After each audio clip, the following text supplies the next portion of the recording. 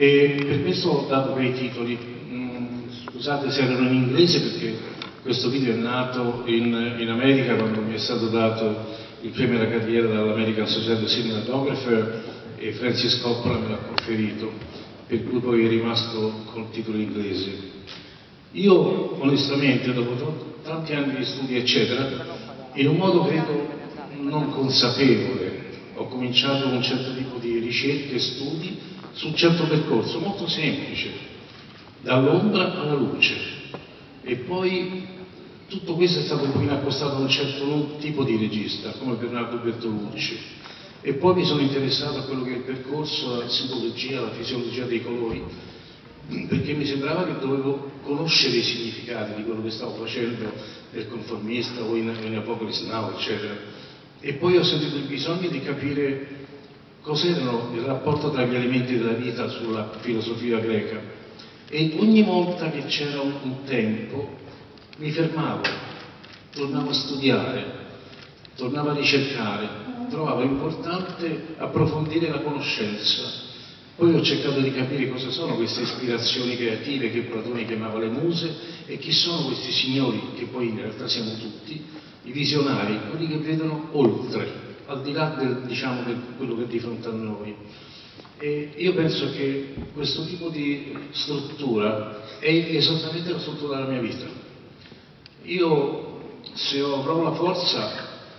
eh, non credo di aver completato le mie ricerche, i miei studi, spero di poterlo fare in una seconda trilogia dei libri,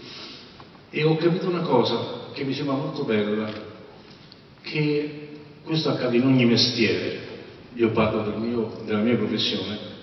che ogni volta, in ogni progetto, si torna studenti. Cioè il fatto di essere un eterno studente mi piace moltissimo, perché c'è sempre da conoscere.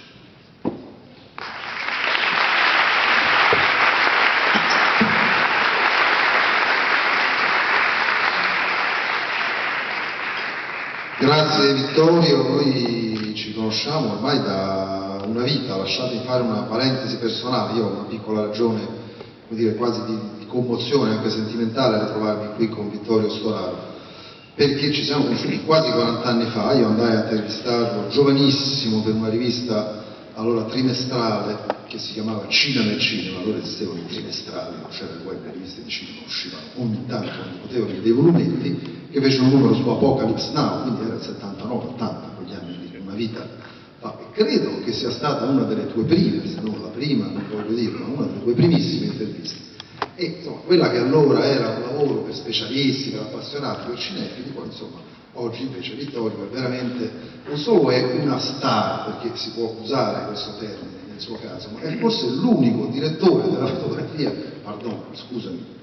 bestemmia, adesso mi caccia dal palco, l'unico autore della fotografia ci tiene giustamente a essere definito in inglese cinematographer, in italiano possiamo tradurre autore della fotografia anche se nell'uso corrente si continua a dire direttore della fotografia, l'unico che ha acquisito appunto uno status veramente di autore riconosciuto a livello mondiale, non solo perché ha vinto uh, i famosi tre Oscar con Rez, di, con Apocalypse Now prima di tutto, con Coppola, poi con Rez, con Warren Beatty e poi giustamente finalmente con Bertolucci per l'ultimo imperatore, ma perché ha veramente formato e segnato generazioni appunto di, eh, di cinematografi, di autori della fotografia ovunque nel mondo e per primo in America. Ora che un autore della fotografia italiano abbia, avesse un'influenza così profonda sul cinema americano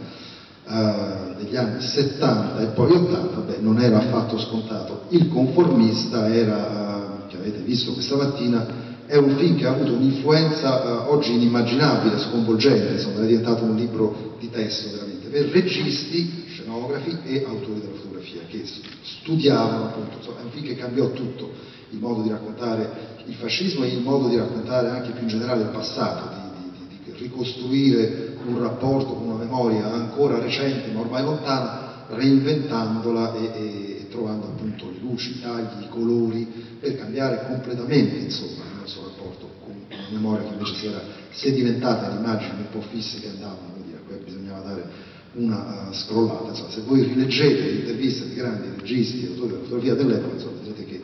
il, uh, conformista è citatissimo. Io ieri, a andando così su, su internet, cercando qualcosa che non conoscevo, ho trovato un certo John Bailey, grandissimo autore della fotografia, un signore che ha lavorato con Robert Redford, con Loris Casa, con Paul Schrader,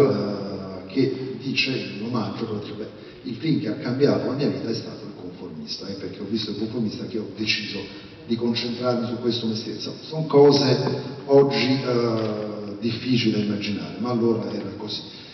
Il nostro cinema viaggiava moltissimo nel mondo, influenzava, influenzava in profondità appunto quello che sarebbe, rimasto, sarebbe rimasta la prima cinematografia del mondo.